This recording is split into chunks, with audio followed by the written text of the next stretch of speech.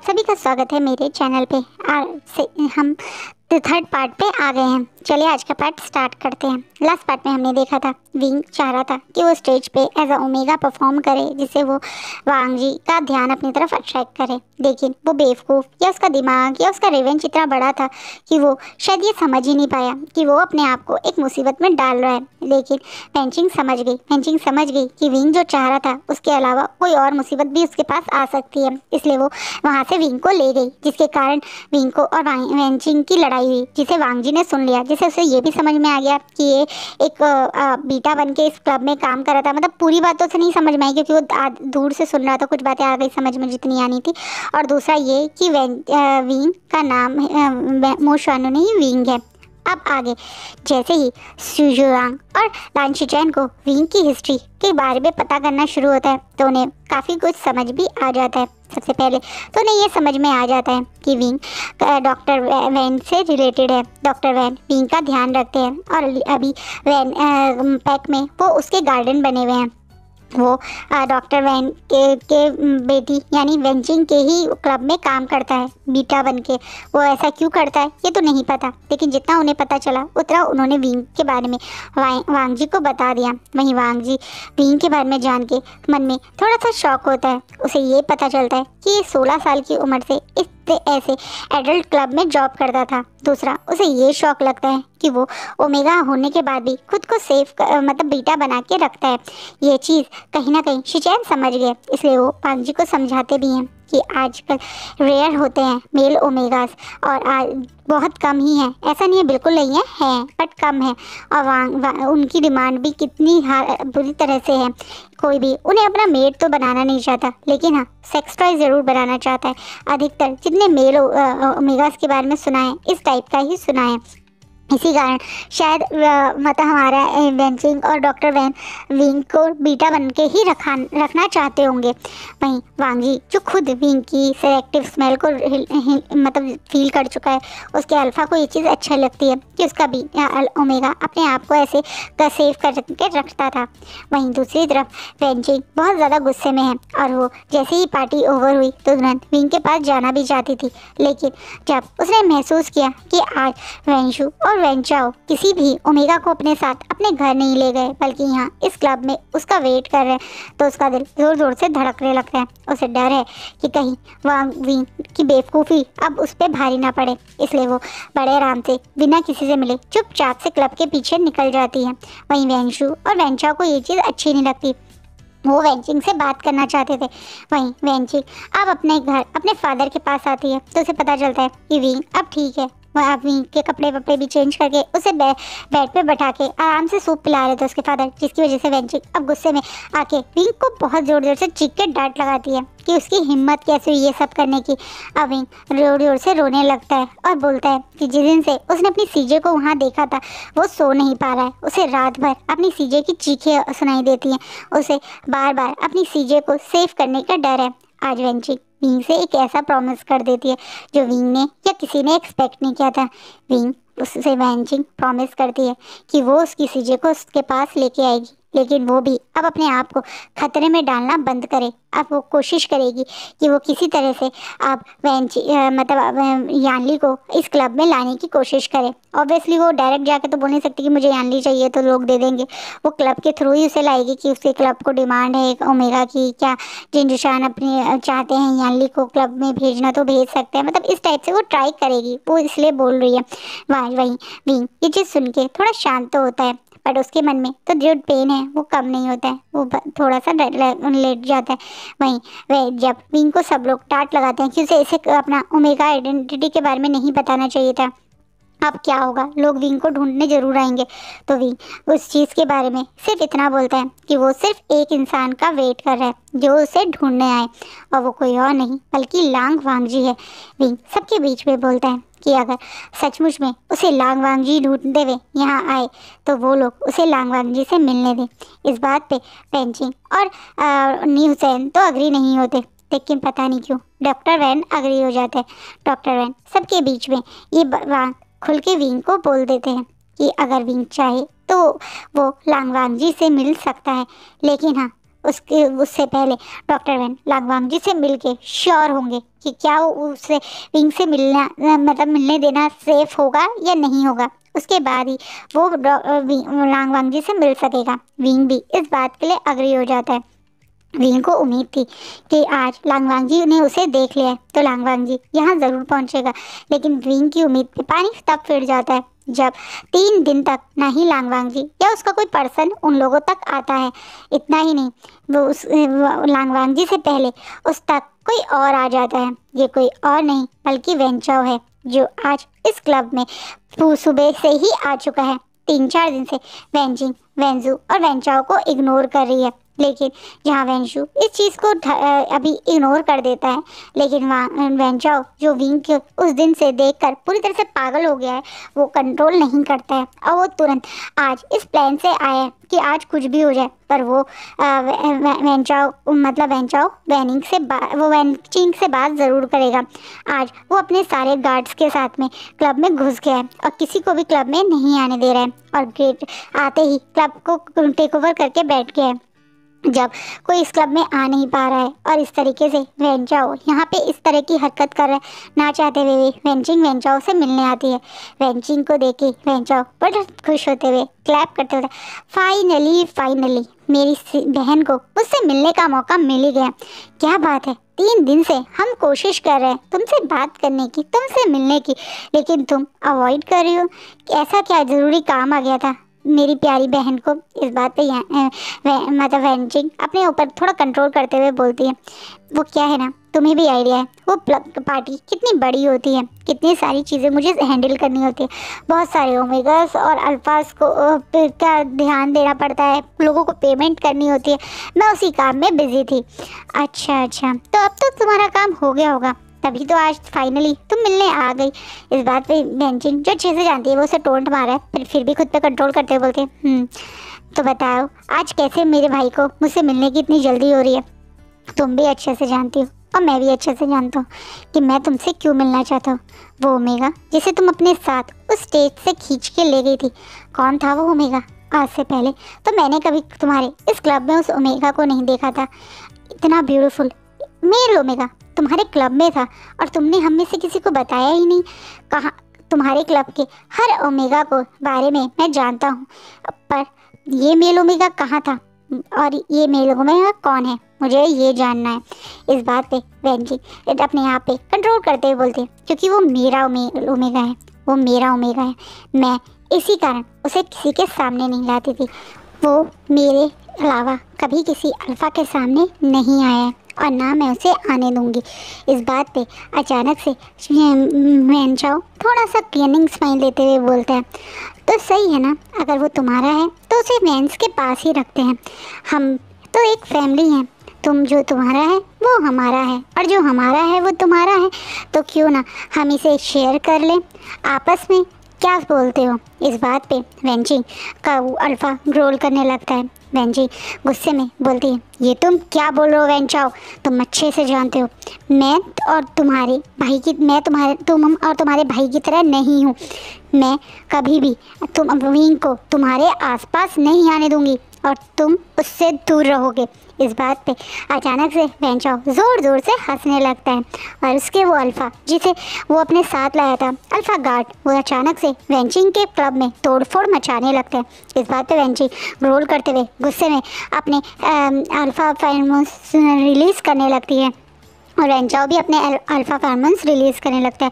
ये दोनों अल्फ़ा पूरी तरह से एक दूसरे से लड़ने के लिए तैयार हो गए हैं। आसपास के ओमेगाज पीटाज और यहाँ तक कि अल्फ़ा भी देख सकते हैं कि इन दोनों का अग्रेसिव मोड ऑन हो गया है। बेंचिंग ऑलमोस्ट अपने अल्फ़ा फॉर्म में, यानी अपने वेरवल फॉर्म में ट्रांसफ़र होने ही वाली थी। तभी अचानक से बीच में एक आवाज़ आती है ये किसी और की नहीं बल्कि वैन रोहान की आवाज़ है वैन रोहान एकदम चलता है रुक जाओ दोनों वैन दोनों के दोनों उस तरफ़ देखते हैं वैन रोहान अपने लोगों के साथ वहाँ आता है वैन रोहान को यहाँ देख के वैन चौ भी काफ़ी शौक है और वैन चिंग भी काफ़ी शौक है ये दोनों अब धीरे से अपने नॉर्मल उसमें आने लगते हैं अब रोहन गुस्से में वैनचाओ के गाल पे एक ज़ोरदार थप्पड़ मारता है, जिससे वैनचाओ काफ़ी शौक हो जाता है। वो गुस्से में बोलता है, तुम्हारी हिम्मत कैसे हुई? अपनी ही बहन को परेशान करने की? तुम अच्छे से जानते हो वेंचिंग ने कितनी मेहनत से एक क्लब बनाया और तुम यहाँ पे ऐसे तोड़फोड़ करके क्या साबित करना चाहते हो? वैन, रोहन के इस गुस्से और इस एटीट्यूड को वेंचिंग समझ नहीं पा रही है। लेकिन वैन चाओ अब कुछ बोलता उससे पहले ही। वैन रोहन दोबारा से बोलता है अभी के अभी यहाँ से चलो। और हाँ आगे आगे से, तुम वैन मतलब वैन चिंग के कैब, इसमें, का, कैफ़े में, सॉरी, क्लब में ऐसे नहीं आ, आओगे। अब तुम्हारा इस क्लब में आना मैंने बैन कर दिया है। इस बात पे वेंचाओ को बहुत गुस्सा आता है। वेंचाओ ग्रोल करते हुए वहाँ से चला जाता है वेंचिंग को देखते हुए। जैसे ही वेंचाओ वहाँ से जाता है, तुरंत वेंजू वहाँ आ जाता है। वेंचिंग वेंसू को यहाँ देख के समझ चुकी है कि ये वेंसू ने ही किया है। वेंशु ने ही जान पूछ के अपने फादर को यहाँ लेके आया था। और वो जान पूछ के वह एक तरीके से वेंचाओ को इस क्लब से बाहर निकालना चाहता था। उसने जान पूछ के वेंचाओ को पहले यहाँ भेज के ये सब करवाया। और फिर अब वो वेंचिंग के पास आया है। वो भी विंग से ऑब्सेस हो गया है। उसे भी विंग चाहिए लेकिन वो वेंचाओ की तरह बेवकूफ़ नहीं है जो ऐसे ही विंग को जाने दे। वो आ, मतलब का हासिल करने आ जाए। वो जानता था कि अगर वो ऐसा करेगा तो वेंचिंग नहीं करने देगी। वेंचिंग की आ, उस पोजेसिव नेचर को वेंसू ने ऑब्ज़र्व कर लिया था। इसी कारण वो अपने फादर को यहाँ पे लाया था। अपने चेहरे पे एक कनिंग से स्माइल लगते हुए वो वेंचिंग के पास आता है। और बहुत प्यार से वेंचिंग को कंधे पे हाथ रख चलते हैं। देखा बहन मैं हूँ तुम्हारे साथ। मेरे होते हुए वेंचाओ कभी तुम्हारे क्लब को नुकसान नहीं पहुँचा सकता। और फादर के को भी पता है कि तुम कितनी मेहनत से यहाँ आई हो। और फादर तुम्हारे और तुम्हारे फादर और भाई का कितना ध्यान भी रखते हैं। याद है ना तुम्हें इस बात पे वेंची थोड़ा सा शॉकिंगली उसकी तरफ़ देखती है। क्योंकि जो वैन वैनजा वैंसू सो, बोल सोच के आया है अब वो बात बोलता है। पर क्या होगा, जब फादर को ये पता चलेगा कि ये उमेगा जियांग पैक का है, ये ओमेगा वो ओमेगा है, जिसे तुम और तुम्हारे फादर फादर और हमसे छुपा रहे हैं। इस बात पे वेंची एकदम से शॉक हो जाती है। अब वेंसू के चेहरे पे एक विक्ट्री स्माइल आ जाती है। बोलता है, मुझे पता था, मुझे पता था कि तुम और तुम्हारे फादर किसी इंसान को अपने हॉस्पिटल में छुपा के इलाज कर रहे हैं। लेकिन वो चियांग पैक का हायर पीटा है, ये बात तो अब मुझे पता चली। ये ओमेगा भी उसी का अडॉप्टेड भाई है। तुम्हें क्या लगता है? मुझे ये चीज़ नहीं पता? मुझे ये चीज़ पता है। और अब तुम मुझे उस ओमेगा को दोगी। अगर तुमने मुझे ने ऐसा ने, वो, वो ओमेगा नहीं दिया तो मैं तुम्हारे फादर की और तुम्हारी सच्चाई अपने फादर को बता दूँगा। तुम अच्छे से जानती हो फादर को वो एक पैक को तुम्हारी वजह से तो नहीं जाने देंगे। जियांग पैक उन्हें चाहिए था और वो जियांग पैक के हायर को तुम लोग सेव कर रहे हो। ये पता कर करेंगे मतलब पता उन्हें पता चलेगा। तो फिर वो तुम्हारा दोनों के साथ तो तुम दोनों भाई बहन और तुम्हारे फादर के साथ कैसा बिहेव करेंगे तुम सोच सकती हो। एक तरीके से वेंसू अब मतलब विंग की फैमिली की जो मदद करी है वेंचिंग और उसके फादर ने उस बात से उन, उन उन्हें ब्लैकमेल कर रहा है जिस चीज़ से वेंचिंग के चेहरे पे एक अजीब सा डर वाला एक्सप्रेशन आ जाता है। वो जानती थी कि वो वेंचाओ को से तो वो लड़ सकती है लड़ कर सकती है लेकिन वैन रोहान बहुत स्ट्रॉन्ग अल्फ़ा है। वैन रोहान बहुत पावरफुल है और वैन रोहान से पंगा लेना नामुमकिन है। वो वैन रोहान से पंगा नहीं ले सकते। चेहरे पे बहुत ज़्यादा घबराहट वाले एक्सप्रेशन आ जाते हैं। उसे इस चीज़ का भी हैरानी है कि वेंसू को ये सारी बातें कैसे पता चली? लेकिन वो अब क्या करे? वो यही सोच रही है। इससे पहले वो कुछ रिएक्ट करती या कुछ बोलती। अचानक से वैन खुद पीछे से बाहर आ जाता है, जिसे देख के वैनचिक बहुत शौक हो जाती है। विंग आज नॉर्मल क्लोथ में है, जो हमेशा कैरी करता है। एक नॉर्मल सी लूज सी टी शर्ट उसके ऊपर एक नॉर्मल से लूज सी हुडी और एक हल्का सा लूज सा ट्राउज़र। इन शॉर्ट वो बिल्कुल होमी क्लोथ घर के कपड़ों में था।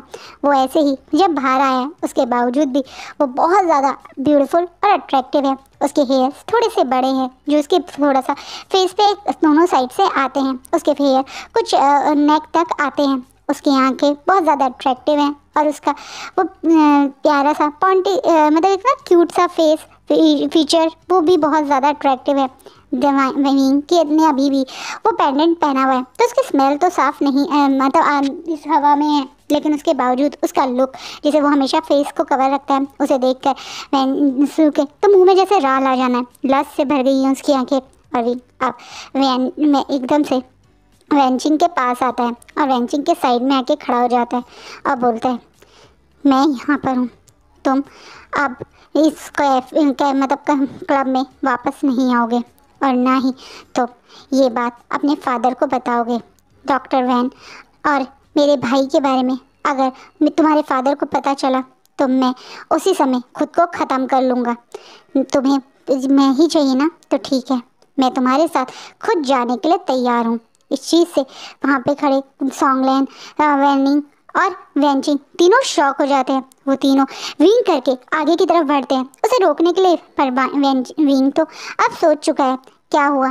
क्या हो सोचा था उसने? और ये क्या हो गया? उसे कहाँ सोचा था कि लांग वांग जी की हेल्प लेके वो आ, इन सबको से बदला लेगा। लेकिन वो लांग वांग जी तो उसके पास आया ही नहीं। उसे उम्मीद थी कि लांग वांग जी उसे ज़रूर ढूँढने आएगा लेकिन वो नहीं आया। और ये मुसीबत। विंग ने खुद गले लगी है ये। अब विंग उसी जगह है, जहाँ उसकी बहन थी। कहाँ वो अपनी बहन को उस जगह से बाहर निकालना चाहता था? अपनी एक इम्पेशंस बिहेवियर की वजह से, अपनी एक हरकत की वजह से जल्दबाजी में वो इतनी बड़ी आफत में आ गया। उसने कभी सोचा नहीं होगा। लेकिन अब जो तकदीर में लिखा है वही सही। विंग यही सोच के वेंसू के साथ में वहाँ से जाने लगता है। वो उस क्लब से वेंशु की कार में बैठ के चला जाता है और जैसे ही वो वहाँ से निकलता है तो तुरंत किसी और साइड एक रूम में फ़ोन रिंग होने लगता है। ये फ़ोन रांग वांग जी का है। रांग वांग जी जैसे ही फ़ोन पिक करता है तो उसकी आँखें गोल्डन कलर से शाइन करने लगती है। उसका अल्फ़ा ज़ोर ज़ोर से ग्रोन करने लगता है। और ये खबर देने वाला, वह विंग मतलब विंग वेंसू के साथ उस क्लब से निकल गया। कोई और नहीं, बल्कि लांगवांग जी का वो अल्फ़ा छुपा हुआ एक होता ना गार्ड था, जो उस दिन से वेंचिंग के क्लब के बाहर ही है। क्लब के में क्या हो रहा है? एक एक खबर मतलब लांगबांग जी को दे रहा है मॉर्निंग में। जब वें चाओ यहाँ आया था, वो भी खबर लांगबांग जी तक पहुँची थी। वेंचाओ का फादर आके वेंचाओ को ले गया, वो भी खबर लांगबांग जी तक पहुँची। और अब वेंशु विंग को अपने साथ ले गया ये भी खबर लांगबांग जी तक पहुँच गई है। इन शॉर्ट लांगवांग जी को पता चल गया विंग अब उस क्लब में नहीं है। उस क्लब में, जिस क्लब में शायद वो सेफ़ था, जहाँ उसको हमेशा ध्यान रखने वाले, उसके दोस्त और उसकी वो दूसरी बहन थी, यानी वेंचिंग अब वेंचिंग भी अब फ्लोर पे बैठी हुई है और अपना सर पकड़ के सिर्फ़ रोने और विंग पे गुस्सा करने के अलावा कुछ नहीं कर पा रही है। विंग की बेवकूफ़ी की वजह से विंग अब इतनी बड़ी आफत में चला गया। चलिए जानते हैं, क्या कारण है? तीन दिन से लांग वांगी वहाँ नहीं जा पाया। उसका कारण है, उसका ब्रदर मदरलान शिचैन के मेट की अचानक से तबीयत बहुत बिगड़ जाना, जिसके कारण वो लोग अभी लैंड पैक में हैं। लैंड पैक से बाहर नहीं जा रहे। मिंग्याओ अचानक से बहुत बीमार पड़ गया उसे अजीब सी फेट्स और एक तरह से स्मेल ट्रिगर कर रही हैं, जिसके कारण उसको, उसके फैमिली मेंबर के सराउंडिंग में रहने के लिए डॉक्टर ने बोला है। कहा गया है कि सारे के सारे फैमिली मेंबर्स यहाँ रहें ताकि थोड़ी थोड़ी देर में उसे थोड़ी सी अपनी स्पिरिचुअल एनर्जी दें। और जो अगर जब वो उसकी स्मेल से मतलब उसे एक अजीब टाइप की बीमारी बताई गई है, जिसके कारण उसे थोड़े थोड़े घंटे में फैमिली वालों को को स्पेशल पावर मतलब होता है ना गोल्डन कोर स्टेबल करने के लिए जो पावर देते हैं, वो पावर देने के लिए बोला गया इसी कारण लानकुरैन ने लान शिचैन ने और लांगवांग जी ने इस लैंड मैंशन को तीन दिन से छोड़ा ही नहीं है। थोड़ी थोड़ी देर में ये लोग अपना टाइम शिफ्ट कर करके उसे एनर्जी दे रहे हैं स्पिरिचुअल एनर्जी जिससे वो स्टेबल बनी, बना रहे हैं। अचानक से उस, उसे किस टाइप का अजीब सी बीमारी कैसे हुई? किसने उसके ऊपर ये अटैक किया? कोई समझ नहीं पा रहा है। लेकिन ये लोग यहाँ फंसे हुए थे। वांगी के ब्रदर उसके लाइफ में बहुत इंपॉर्टेंट है। और जब वांगी के मे, उसके ब्रदर की मेट की बात थी तो वो कैसे मतलब छोड़ के जा सकता था? इसी कारण वो यहाँ पे था। लेकिन अब भीम मैंशु के साथ जा चुका है। ये बात जानने के बाद अब उस पर अब उसे अपने आप पे कंट्रोल नहीं होता। वो बिना किसी को बोले लैंड मैंशन से निकल जाता है। वहीं शिचैन और कुरैन भी इस चीज़ को नहीं समझ पाते। शिचैन डॉक्टर से अभी मिल के आया था तो डॉक्टर ने बताया था कि अभी मिंगाओ की तबीयत ठीक नहीं है तो शिचैन थोड़ा परेशान तो होते हैं लेकिन कुरैन और शिचैन काफ़ी स्ट्रॉन्ग कल्टिवेटर है तो वो लोग वहाँ रुक जाते हैं। एक तरीके से आ, मदद करने शिचैन की वहीं मिंगाओ को जब ये चीज़ पता चलती है तो उसे बहुत गुस्सा आता है। दूसरी तरफ़ वेंसु विंग को लेके एक अजीब से अपने मेंशन में आए हैं। इस मेंशन के बारे में उसके फादर भी नहीं जानते हैं। ये वैन क्लैन के बिल्कुल बॉर्डर पे बना हुआ मेंशन है। इस मेंशन के बारे में सिर्फ़ उसके खास लोग ही जानते हैं। तो इसी कारण वो विंग को यहाँ लाया है। विंग उसके पास है। ये बात वो अपने भाई वेंचाओ तक भी जाने नहीं देना चाहता। जैसे ही विंग उस मेंशन में आया था तो वेंशु ने तुरंत उसे कुछ कपड़े देके चेंज करके आने के आने के लिए बोला था। पूरे रास्ते उसने विंग को टच नहीं किया था। पर जैसे ही विंग उन कपड़ों में वहाँ आया, जो कि विंग ने बहुत मुश्किल से रो रो के अपने आप को कोस कोस के बहुत देर तक छीक चीम चिल मतलब अपने ऊपर गुस्सा करते हुए आखिरकार वो पहन के वो बाहर आया है, जिसे देख के वैंशु पूरी तरह से विंग की देख के लस्ट में पागल हो गया। वो विंग को अपने मतलब जैसे दिए हुए कपड़ों में देख के और ज़्यादा एक्साइटेड और अराउज फील करता है। वो इस समय एक बड़े से मेंशन के डाइनिंग रूम में बैठा हुआ है, जिसमें वो एक तरीके से काफ़ी सारी शराब भी हैं और काफ़ी सारी उसकी ज़रूरत की जो चीज़ें हैं वो हैं। एक बड़े से सोफे पे बैठ के विंग के सामने, अपने सामने खड़ा हुआ देख के वो और ड्रिंक पे ड्रिंक कर रहा है। वहीं विंग शांति से खड़ा हुआ है, लेकिन वैंशु तुरंत बोलता है, उस दिन तुम जो परफॉर्मेंस देने वाले थे, जिसे तुम्हारी बहन ने बीच में रोक दिया था, क्यों ना वो तुम आज कंप्लीट करो? मैं देखना चाहता हूँ कि तुम क्या परफॉर्मेंस देना चाहते थे? विंग बिल्कुल भी ये करना नहीं चाहता। लेकिन उसके पास कोई ऑप्शन नहीं है। वो बहुत कमज़ोर है। कमज़ोर in the sense by body not by mind और बाय एक तरीके से golden core but by body क्योंकि अभी वो कम है एज का है, और वो वेयरवुल्फ फॉर्म में जब अगर कन्वर्ट भी होगा तो वो ओमेगा बन के ही निकलेगा, और उसका ओमेगा वेयरवुल्फ कमज़ोर है, उसे ऐसा लगता है, क्योंकि वो अब तक फॉर्म में हुआ नहीं। जब आप अपनी पहली हीट में आते हो तो अधिकतर ओमेगा उसके बाद ही ट्रांसफ़र होते हैं तो विंग की वो पहली हीट अभी तक आई नहीं है। तो उसे एग्जैक्टली उसका वेरूल्फ कितना स्ट्रॉन्ग है उसे पता नहीं। लेकिन उसने देखा है कि बड़े से बड़े स्ट्रॉन्ग से स्ट्रॉन्ग ओमेगाज भी वेयरवुल्फ फॉर्म में हमेशा अल्फ़ा के वेयरवुल्फ से छोटे ही होते हैं, कमज़ोरी होते हैं। इसलिए वो थोड़ा सा अपने आप को मतलब उस वे में वीक भी मानता है। इसलिए वो जानता है कि वो चाहे कुछ भी करे वो वेंसू से तो नहीं जीत सकता क्योंकि वेंजू बहुत खतरनाक है वे, है फॉर्म है और वो इस चीज़ को जानता है जब उसका वेयरवुल्फ कन्वर्ट होता है। इसलिए वो ना चाहते हुए भी धीरे से वहाँ पे परफॉर्मेंस देना शुरू कर देता है वहीं वेंशु जैसे जैसे विंग अपनी बॉडी मूव कर रहा है थोड़ा परफॉर्मेंस दे रहा है उसके अंदर का अल्फ़ा तो बहुत ज़्यादा ग्रोल कर रहा है। वहीं दूसरी तरफ़ बाहर चारों तरफ़ वाले गार्ड इस चीज़ को ध्यान रख रहे हैं कि कोई भी वेंजू के इन एंटरटेनमेंट में ना आ पाए। धीरे धीरे अब वेंजू विंग को अपनी साइड जब वो डांस कर रहा है तो उसे अपने हाथ की तरफ़ खींच के उसे ऑलमोस्ट अपने पैर मतलब लैप पे लेने की कोशिश करता है, जिसे विंग पीछे हट के दोबारा से डांस परफॉर्मेंस के थ्रू अपने आप को उससे सेव करने की कोशिश कर रहा है। विंग एक अग्रेसिव वे में ये नहीं दिखा रहा कि वो वेंशु उसको टच नहीं करने देना चाहता, लेकिन वो एज अ परफॉर्मेंस वे में दिखा रहा है कि वो अलग होके ही परफॉर्म करेगा। अब वेंशु इस बात पे विंग को बहुत ज़ोर से खींच, हाथ से खींच के ज़बरदस्ती अपने सोफे पास में सोफे पे बैठा देता है और बोलता है कि अब वो ड्रिंक करें, वीन। इस चीज़ से बड़ी बड़ी आँखों से वैंसू की तरफ़ देख रहा है। लेकिन वैंसू बिल्कुल नहीं मानता। और वो ज़बरदस्ती विंग को एक, एक ग्लास में वाइन जो उसके ग्लास में जो है वो विंग को ज़बरदस्ती पिलाने लगता है। अब विंग को बहुत गुस्सा आ रहा है लेकिन विंग बेचारा कुछ नहीं कर सकता। विंग अब फुल नशे में हुआ क्योंकि वैंजू ने ज़बरदस्ती उसे वो पूरी वाइन की बोतल पिला दी है। विंग थोड़ा खड़े होने की कोशिश भी कर रहा है लेकिन वैंजू अब उसका सर ज़ोर ज़ोर से घूम रहा है। वैंजू अब विंग को बोलता है तो क्यों ना तुम मुझे लैब डांस करके दिखाओ? मैं देखना चाहता हूँ। कि तुम जैसा होमेगा जब एक अल्फ़ा को लैब डांस करके दिखा रहा है तो कितना हॉट एंड सेक्सी लगता है। विंग को ये बातें डिस्कस तो फील करवा रही हैं, लेकिन उसके पास इस समय कोई ऑप्शन नहीं है। उसे मन में वांगजी पे भी बहुत गुस्सा आ रहा है। उसे उम्मीद थी वांगजी उसके वो तीन दिन में ढूँढने आएगा, लेकिन वांगजी जब नहीं आया तो उसकी वो होप आज ख़त्म हो गई। और अब तो इसे बहुत ज़्यादा डिस्कस्ड फील हो रहा है। पर उसके मन में एक बात बार बार आ रही। जब वांगी ने उसे टच किया था, तब भी उसे इतना डिस्कस्टिंग फील नहीं हुआ था। पर इस समय उसे डिस्कस्टिंग क्यों फील हो रहा है? शायद यही अंतर है अपने अल्फ़ा को पहचानने का। शायद विंग का ओमेगा तो पहचान गया था ना कि वांगजी ही इसका अल्फ़ा है। लेकिन ये अल्फ़ा तो उसका अल्फ़ा नहीं है ना। इसी कारण वो थोड़ा सा और ज़्यादा मतलब उतना खुद पे डिस्कस्ड फील कर रहा है। उसे हर चीज़ बहुत ज़्यादा घिनौनी लग रही है। अब वैंशु विंग को जब स्ट्रीट लैप डांस के लिए बोल रहा है, जिसके कारण बेचारे विंग को ना चाहते हुए भी डांस करते हुए सब करना पड़ रहा है। अब वैंशु विंग को ज़ोर से खींचता है जिसे ऑलमोस्ट विंग उसके लैप पे गिर गया है। इससे पहले अब वो कुछ और करता, क्योंकि वो विंग को अब किस करने के मूड में था। धड़ाम करके उस रूम का डोर ओपन होता है।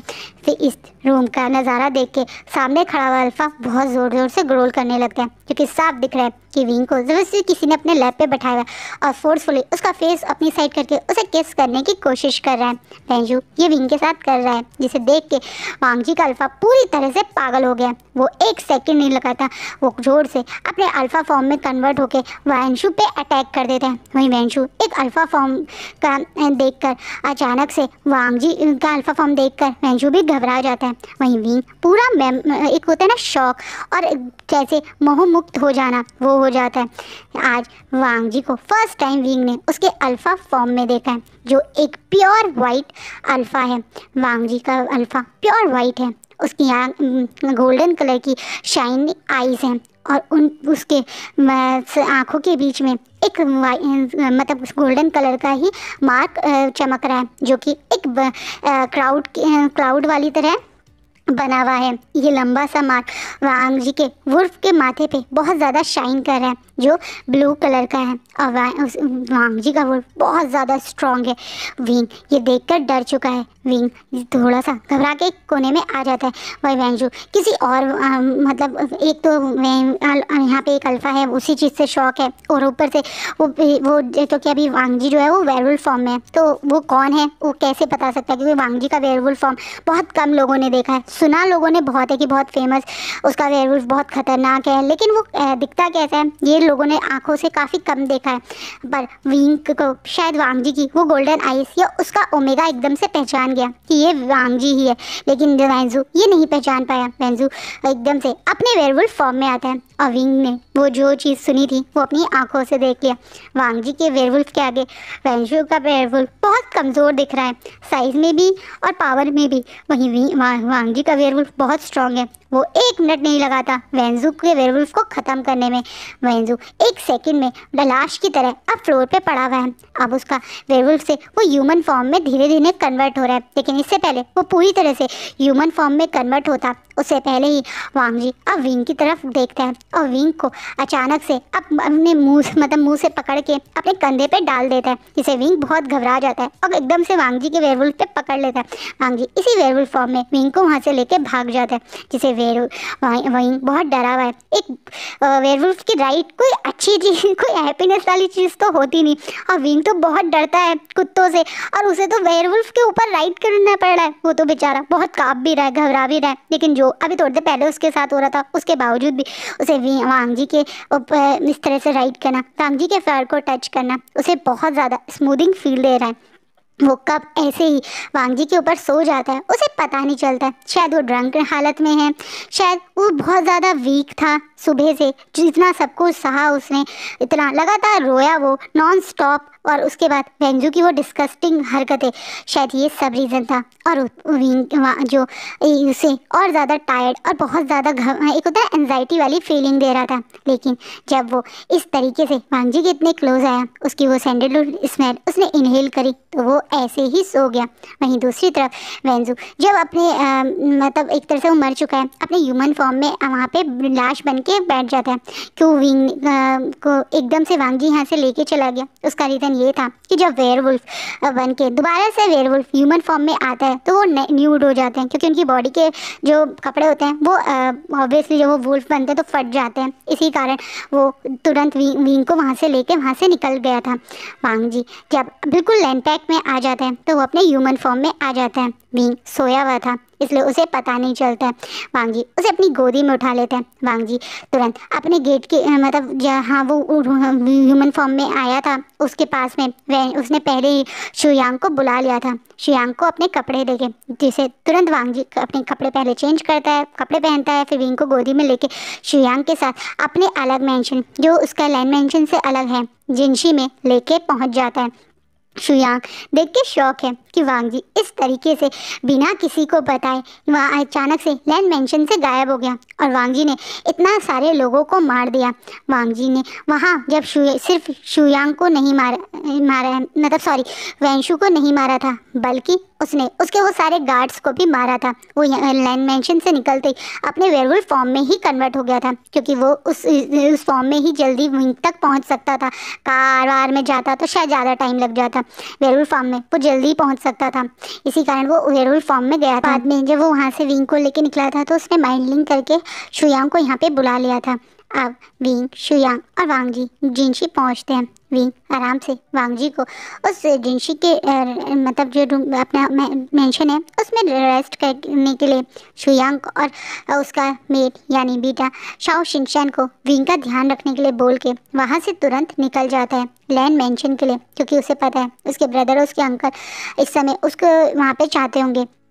जब वांग जी एकदम से गया और एकदम से ऐसे वापस आया इसके बाद मिंग्याओ थोड़ा रिलैक्स फील करता है लेकिन आ, उसे नहीं पता कि वांग जी क्या क्या करके आए ये अभी तक तो कुरैन और शिचैन को भी नहीं पता है। एक दो पैक के बीच में वॉर करवाने वाला काम करवा के आ गया है वलांग वांग जी बिना बताए बिना किसी से कोई डिस्कस करे सीधा दूसरे पैक के हायर को मार के आ चुका है लांगवांग जी और वो भी किसके लिए? एक ऐसे ओमेगा के लिए जिसके बारे में वो कुछ नहीं जानता है। सिर्फ़ इतना ही वैनपैक के नाइट क्लब में जॉब करता था और उसका नाम विंग है।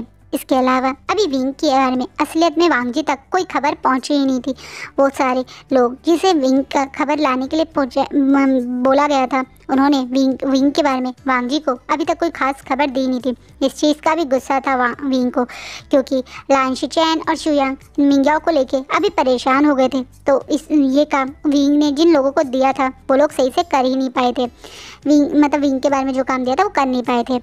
आप शिचैन और कुरैन जब देखते हैं वांगजी वापस आ गए तो वो उससे पूछने की भी कोशिश करते हैं, क्योंकि वांग जी के फेरमेंट्स काफ़ी अग्रेसिव लग रहे हैं, लेकिन वो अभी किसी को कुछ नहीं बताते और आज का पार्ट यहीं रुकता। है सो गाइस आपको क्या लगता है? वेंजू की डेथ के बाद क्या होगा? क्या वैनरॉन शांत बैठेगा? और विंग उसे तो पता ही नहीं कि वह, जो, वो चाह रहा था, वो खुद वांग जी ने कर दिया। उसका एक टारगेट तो वांग जी ने, उसके लिए मार दिया। वेंजू को मार दिया है। अब बाकी वैनरॉन और वैनचाओ बचे हैं। उनके साथ भी क्या करेगा वांग जी वो हम नेक्स्ट पार्ट में देखेंगे। आई होप आपको ये फ़ैन फिक्शन अच्छा लगे। कैसे लगे प्लीज़ बताना।